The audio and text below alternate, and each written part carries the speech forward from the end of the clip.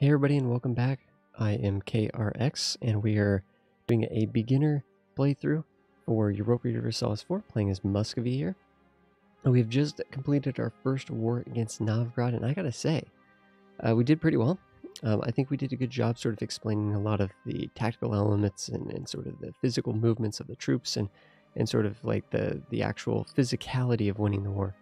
We actually forgot something really important at the end of the war when we were actually I, I didn't really go through like the uh, I don't think I spent enough time talking about the peace deal and like some of the values that you're looking for when you're composing your peace deal and stuff. We will do that in the in the next uh, war uh, to a much much more detailed approach of that. That was uh, again it's so easy. There's so many hundreds of different things that you're considering at any time. It's so easy to take some of those things for granted and just get out of out of sync a little bit and take some of those things for granted. We have not, we've done the war deal, we haven't played the game at all. There's a number of different elements that are now going to be sort of like a problem right now for us. Um, so there's kind of two different ways to look at that. There's an internal stability issue with the new land that we've taken on. That can affect our our stability in our main country, but it can also obviously there'll be potentially instability in our new land because this hasn't been fully embraced into our country yet. Yes, we control it, we've taken it, Novgorod's agreed to sign it over, but there's no infrastructure in these places. There's no um, Muscovy government infrastructure, like like people leadership ruling over these new provinces, actually making it so that these provinces actually uh, behave. Right? These are still Muscov or uh, Novgorodian people living in these areas here that they never agreed to be part of the Muscovy um, nation. Only Novgorod as the state, right, handed this stuff over, but they've kind of abandoned their own people in a lot of these places, including Novgorod, right? We've taken over Novgorod proper. Essentially, what I'm saying is here, there's going to be a significant amount of unrest, but the, but we need to actually do some some work on actually sort of integrating this land into our country and making it more usable, and also allowing ourselves to restabilize so that we can go um, to war in the future. One of the things, uh, and also diplomatically, I don't know if I uh, mentioned that uh, before I said internally, but diplomatically, we have caused a lot of strife too. Um, these countries around us, they care that we just uh, ravaged Novgorod because that puts them seriously on edge in, in a major way.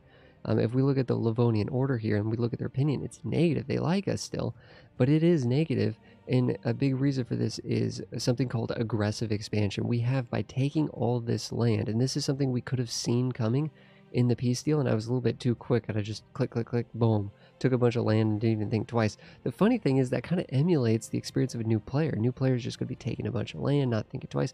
Nice thing is, there's reasons why Muscovy can do that in this region, and not very many people will care. But the people closest to us are going to observe this conquest and they're going to be they're going to be a little bit worried. We look at Lithuania, 33 with Lithuania. Um, Poland they have less because they're further away, but this aggressive expansion is how uh, 38 with uh, Sweden. This is how um, this is this is immediately hurting our diplomatic relations with the nations around us. Right, they are seeing us as a warmonger. They are seeing our aggressive expansion, and it scares them and they can actually team up against us. They can actually form a coalition against us if that number ever reaches 50. You can see it's slowly going to decay yearly, but if we attack Novgorod again, we're going to be attacking Novgorod before that's completely decayed because it slowly goes away. That's yearly, 1.8 yearly being uh, going away from that aggressive expansion.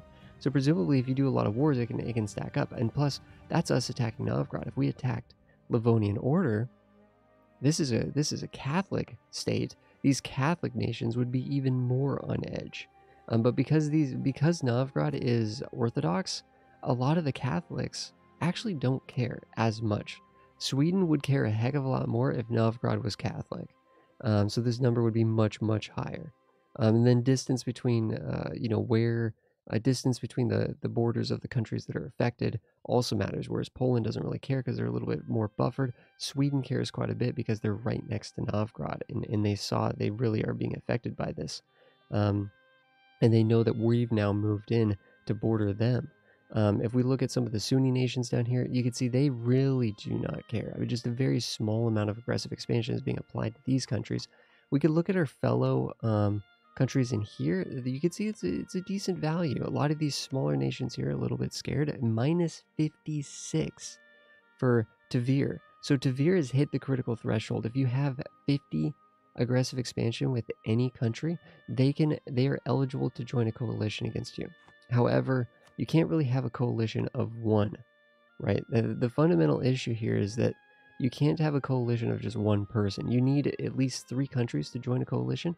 So Tver can join, but but we've just noticed that these other countries can't. They they don't or they they just they're not there yet.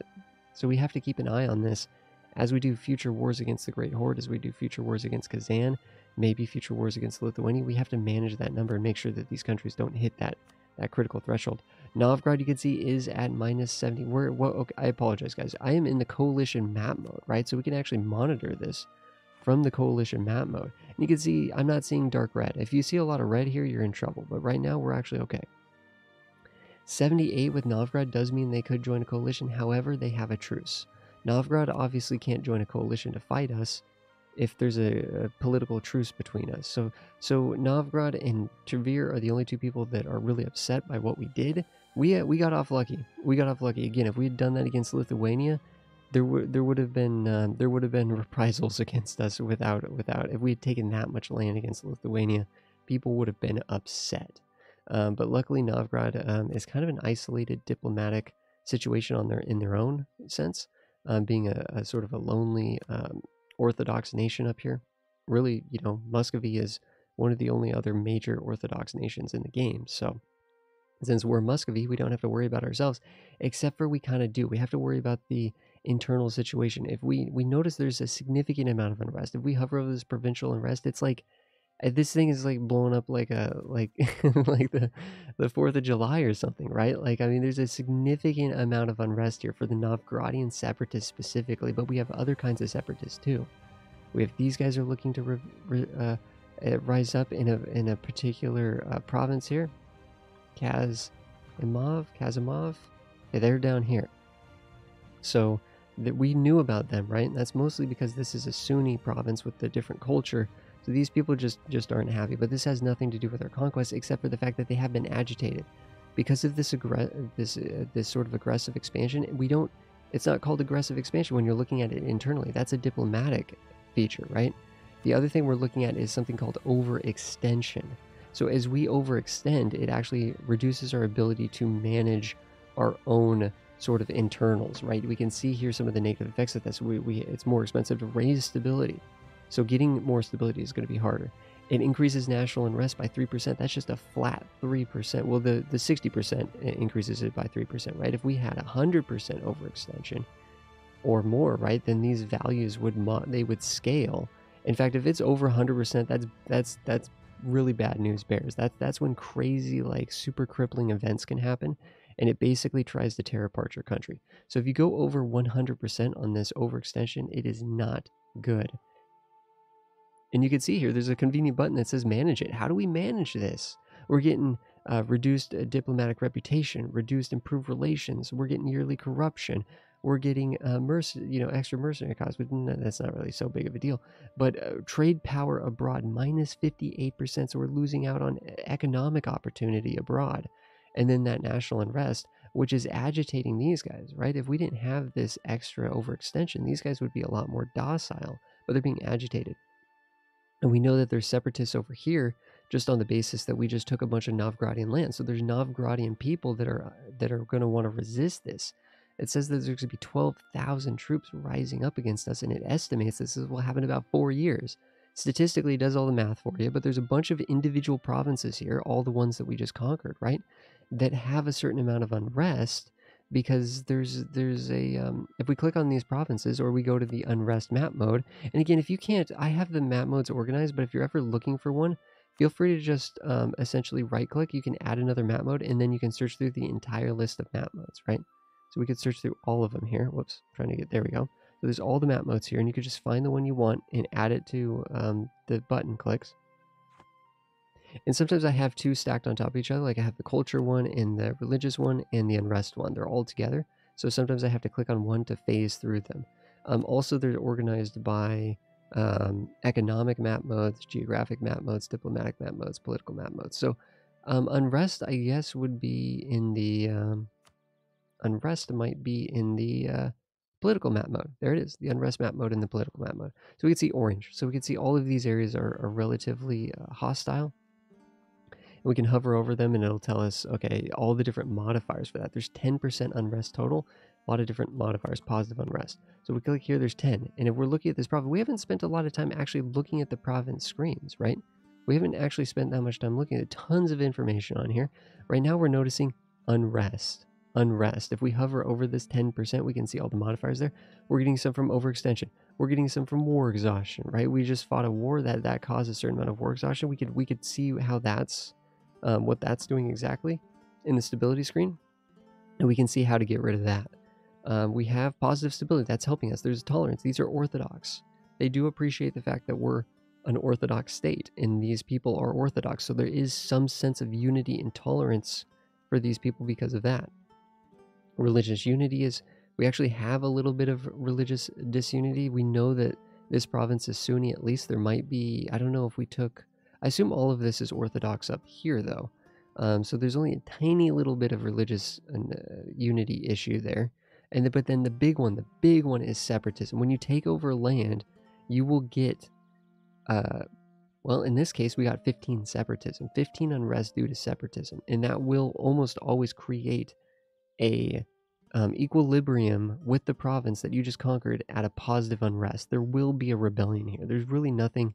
It's not that there's nothing we can do about this. There's a lot of things we can do about this, but there will be unrest here, and there will be a rebellion un- unless we do something about it. So there's actually a number of different things we could do to actually solve this issue. Um, but that separatism does go away. It says separatism will decay by 0.5 yearly until 1478. So it's estimated it'll take 30 years.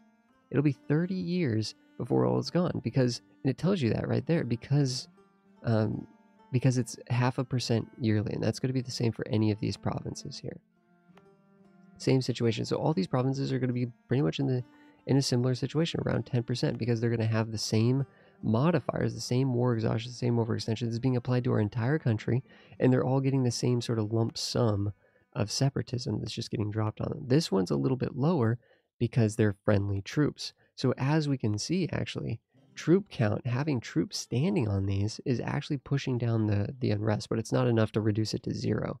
In fact, the most that you can reduce is 5% by having 20,000 troops standing on a province. So if we have 20,000 troops standing on a province, we can reduce it by 5. What that does mean is conveniently, these guys over here, we can actually stomp this out by just resting an army on this. We can rest an army on this and remove this. So I'm not worried about this rebellion at all. This rebellion is not, uh, not going to be an issue at all. Um, the Novgorodians, though, there's no way we could stomp out all of this rebellion. One, it's just the values are too high right? We can only stomp out a rebellion that's five or less because that's the max that we can reduce with troops. And then otherwise, there's just too many provinces. We'd need like hundreds of thousands of troops to stomp out all of these simultaneously, like to have all of them suppressed at the same time. So this rebellion is probably going to happen. Um, we can see that there's a slightly different separatist over here. Um, the Sami culture is causing this to actually want to rebel as a completely different country. So this will be a separate uh, separate rebellion. These people over here want their own independent state. So we have people that want to go back to Novgorod, and we have people that want to be independent on their own because they have kind of a unique culture. So that's the unrest situation going on. And if we go to overextension, we can see we can manage overextension. And there's another banner up here now that we've ended the war called Some of Your Provinces Lack Cores. So the reason why we have overextension is because these provinces are not part of our core country. We have to core this land we have to core this land. And that actually requires administrative power. We can see here it spent 27 administrative power to gain a core in this province. It would take 16 months to do so. Now we're getting some penalties there because of the war exhaustion. But oh, look, here's our war exhaustion 1.3. That's causing a bunch of, of things when it comes to um, negative abilities, when it comes to sieging ability and national rest and and diplomatic this and, and manpower recovery speed and all this other stuff. War exhaustion, not good. It is going down though right now. There is a, a negative 0.1, so this will go down about a year. This will all be gone, and it's it, just because it's going down by uh, about 0.1, but we are taking attrition. It's actually warning us that our troops are still taking attrition. Why is that exactly? Why is that exactly? Well, I think it's because there's just too many troops stacked up in some of these areas. Remember, provinces only have a certain amount of supply limit. And in the winter, we're in February right now. The Russian winters are a real thing. These areas, their their supply limits are significantly reduced because of severe. It's a severe winter actually, severe winter. So that's actually reducing it significantly. So we need to get these guys sort of split up so they don't take attrition just sitting around. We're not even at war and we're taking attrition over here. That's not good. In fact, we have a manpower deficit, a significant manpower deficit. We're at 5,000 men short of actually replenishing our entire armies. We're in a we're kind of in a bad situation here. We got some exiled troops. We're just looking at our banners, right? Exiled troops. We have insufficient manpower, so we have casualties among our regiments. We need to replenish those. We have the provincial unrest. We talked about that. Yearly corruption. Your corruption is growing. We can click on that, goes to our economy screen. We have to spend money to root corruption out. But right now, corruption is going up. So we could try to actually manage this a little bit to kind of keep it down. And it looks like that's the max that we can do is 2.67. We'll keep it baseline. Corruption is something we haven't talked about, but you primarily get it for having overextension and some other there's some other elements too that can increase corruption. Events and things can increase corruption. And essentially corruption having a lot of overextension builds this up. And it just costs money to remove it but it takes time too. Corruption is not good because it increases the power cost of everything which means it makes technologies more expensive. It makes coring land with administrative power more expensive. It makes reducing war exhaustion with diplomatic power more expensive. It makes raising new generals more expensive, right? There's all these different things that we've learned about that we spend these power points on, tons of different things that we have to spend power points on, right? Tons and tons. It's so, this stuff is so valuable. And cor- having added corruption reduces the, or increases the cost of everything you have to buy with power, uh, these power points, uh, which is not good. So, but one of the things here is it says uh, lack cores. So uh, man, when we manage uh, our overextension, it opens up this tab here, which is our core tab. And it shows that all these provinces are not cored yet. We have to core these things. And, and that's actually going to be the thing that is going to reduce our overextension. You can see here that each of these uncored provinces are adding up to this total value of uncored land. That's not good. So we need to core this stuff ASAP. And unfortunately, we have actually left ourselves without enough admin power to do this. We can only actually core this stuff. We've ran out of admin power. Heck, we haven't even gotten an admin technology. We're like way behind on admin right now. Good that we have an admin advisor. This is really, really good for us to have right now because we desperately need admin. Heck, we have actually regressed. In terms of our total admin working towards this admin technology, we've actually regressed ourselves a bit, right? We've just we're in, we're in a hole right now. Just like we're in a hole for manpower we're in a hole for admin points. We need another 30 60 80 basically 80 admin points in order to 80 or 70 admin points in order to get this all done. Which at this rate it's going to take a few months to build that back up. And the quicker we get this the more the quicker we can get rid of all these negative modifiers which are destabilizing our country and destabilizing our economy so it's actually really important that actually when you end a war, you want to make sure that you have admin saved up so that you can core this immediately. That's again, we ended that war hastily, but maybe that'll have been a learning experience, um, both for me as, a, as being a failed teacher, and then also um, just uh, because a lot of the times I think a lot of people end the wars really hastily, but you need to check your aggressive. It warns you about your aggressive expansion values diplomatically. It warns you about your overextension and the cost to core the land. It warns you about how much diplomatic power it's going to cost to take the land, right? We didn't look at any of that stuff. Maybe that's actually kind of fitting that we didn't because we didn't know what coring meant. We didn't know what admin was for. Now we know that admin is incredibly important for coring this land and getting down to our overextension. If we don't, we need to a- allocate a certain amount of our administrative power to core land so that we can continue to fight wars and take more land. Because otherwise, we could get behind and we'd have to actually wait if, if we can't manage this overextension quickly enough. It takes a few years for this to happen. Now, luckily, it's pretty fast on the basis that we had a claim on this. The speed at which it takes to core this stuff is faster, I believe, uh, based on having a claim, but also I think it also has to do with the culture. And I believe that uh, this is all part of our culture group here, the Novgorodian And this is all sort of part of um, a sort of a Russian culture group. And I believe that that is um, making it so these cores are actually significantly faster. Whereas this core up here is probably going to take longer. Actually, it'd be interesting to compare that just to just to learn here. Um, whoops. What is the name of this province? Kola.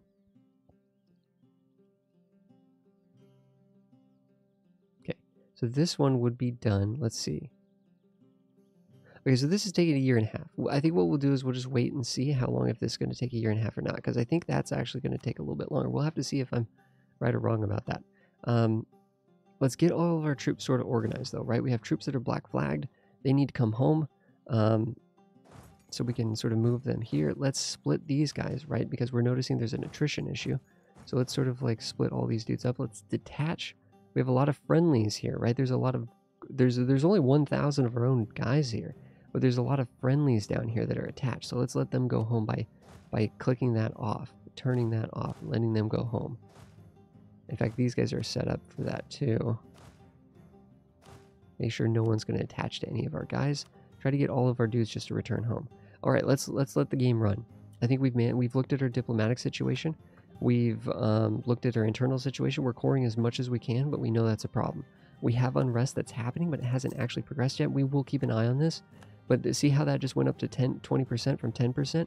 This is making progress. The Novgorodian one is not, ironically, which is weird because this one's much more likely to make progress statistically. There's only a 4% chance that this makes progress. There's a 20% chance that this makes progress, but this has to make progress 10 times before it'll actually rebel. We will see it coming. We will see it coming. We don't have to completely panic. These guys actually want a royal marriage with us, which is kind of funny. Um, do we have royal marriages with all of our own people? I think we did that, our own uh, vassals and stuff. Here's the interesting thing Poland rivaled us. I think I caught eye of this uh, when we were just clicking around. Poland rivaled us. They do not like us. We tried to get the alliance with them, but they're like, nope, they rivaled us. They also got the personal union over Lithuania. So this is one big, giant, nasty blob. Um, I don't know who we could actually ally. We could look for Crimea potentially. We could try to ally Crimea. They're in a war right now against what seems to be um, uh, Byzantium and Theodoro. Um, some smaller nations over here. They're winning the war, so that's good to see. They are winning the war. So we could try to we could ally uh, Crimea. We know that Kazan and the Great Horde they just they just despise us. It's just very unlikely. We could reach down here for the Ottomans, but the Ottomans kind of don't really care that much about us. It'd probably be a lot of work to try to get the Ottomans to ally us, but Ottomans are a very powerful country. We could try. We could try with the Ottomans. There's no point working on Poland. Let's bring back our diplomat. Right click on our diplomat that's working on Poland. Right click, bring him back, as Poland has basically said no.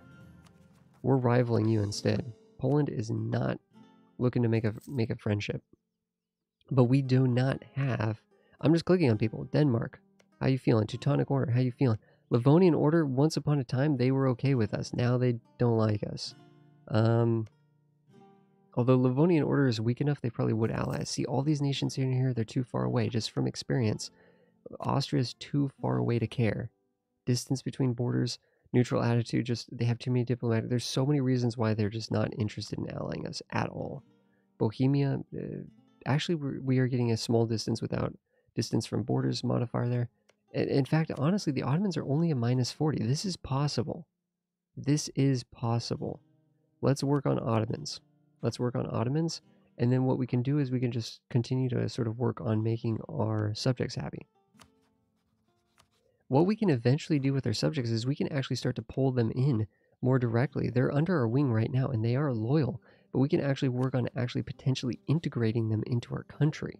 So you can annex the vassals if because we do eventually want to solidify all of this under one name and we have to do that in order to form Russia.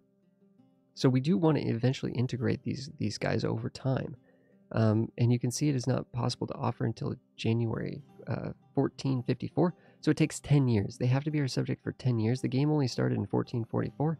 It's 1447. It's only been three years that we've already done all of this. That's crazy. We could ally some of these smaller little guys down here. Um, it's almost like better than nothing. We don't really want these guys to get removed by like Lithuania and stuff, but but at the same time, it's like that doesn't do anything for us. I think we're more likely to attack these guys than ally these guys. That does nothing for us allying a dude that has 1,000 troop. That just, no, he offered us an alliance. That's what that flashing banner was, but I just ignored it. I just ignored it. We are coring as much as we can. We're waiting for this admin to build up, and we are coring, coring, coring. Getting this stuff underway as fast as possible. See, it'll take three years. It's going to take three years to do this. Most of the time you take land, it'll take three years to core. The reason why it's taking less on these is because um, it's our culture group. This is not our culture group. It's going to take three years to core that province. That's quite a bit of time um, that we have to live with these penalties, right? But luckily, all this other stuff is going to get done fast. We're waiting till we get up to 19 so we can finish the final one. We're moving here. It's October 1447. Time is ticking. Time is flowing. It doesn't look like any of our guys are taking attrition. We have our armies sort of spread out here. And we are still trying to build up manpower because our manpower reserves are still in the negative. I'm kind of wondering, actually, wait a second, can we maybe get some more manpower from working on anything over here with these guys? These guys wanted, we have a mission to get Nizhny, Nizhny Novgorod up to a base production 7. Remember when we took this agenda? This is a little mission that we have for these guys.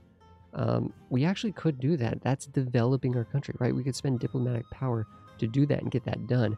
The only thing that's kind of annoying is that we want to save up. We're trying to save up for uh, technologies, right? We're, we're trying to ultimately get to um, the level four diplomatic technology and stuff. But we do need to do this eventually. We might as well do it now. Um, I'm just going to hit this two times to develop this province. It is a copper province, so it's not a terrible trade good. You know, it's not like it's not wheat or something or grain or something like that. So that's not too bad. So we'll get that a couple times, and that should get our thing done. There we go. We gained some ducats.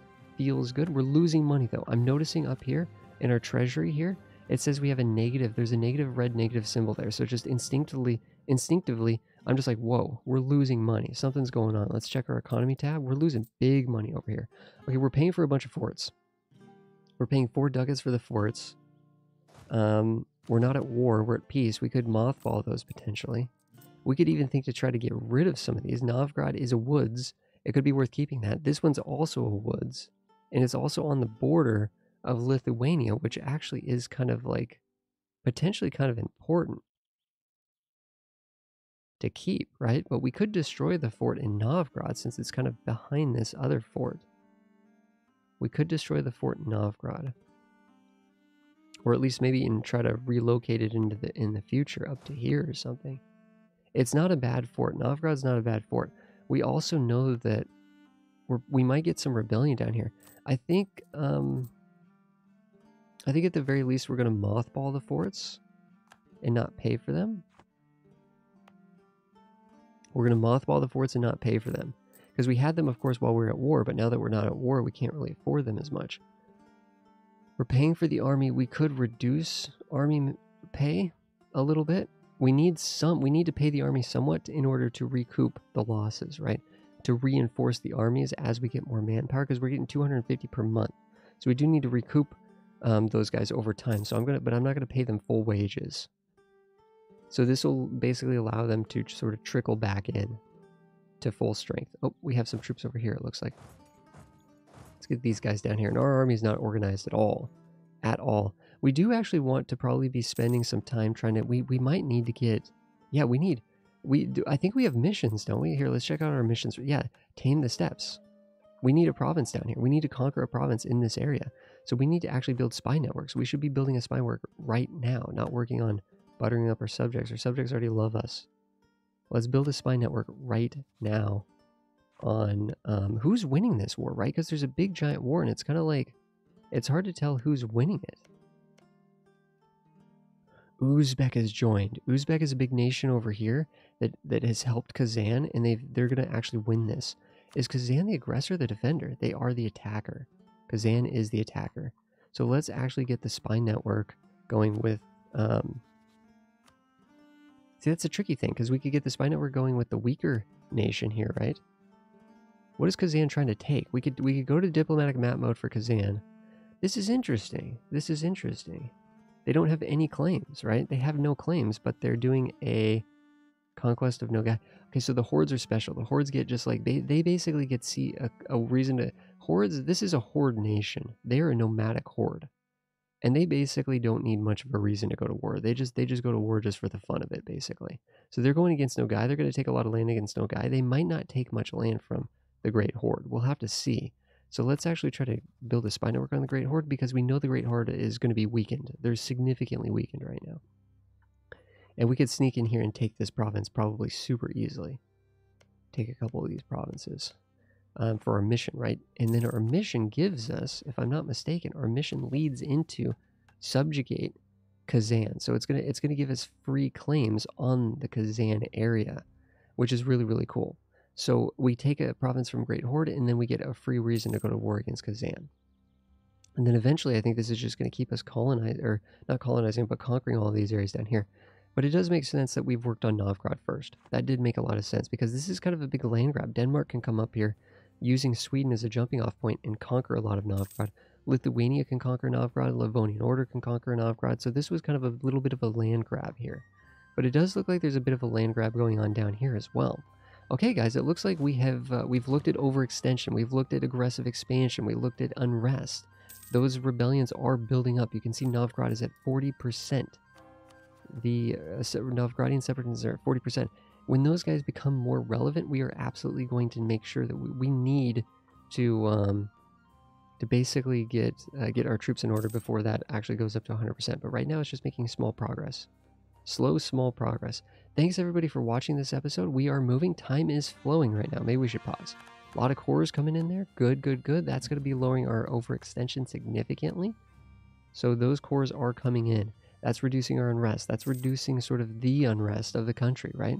So we time is flowing right now. I guess we're just going to sort of recoup and try to build up some manpower, and then we'll be looking to maybe attack the Great Horde while they're weak, while they're sort of in a weakened state. We're working on buttering up relations with the Ottomans because we think that the Ottomans could be a good, uh, just a powerful nation down here, and they're a little bit uh, sort of um, away from us, I guess, right? So that means that we won't have any sort of border tension with them, but maybe they'll be able to help defend us against Poland and Lithuania. That'd be really, really neat. So thank you everybody for watching this episode. I will see you guys in the next one.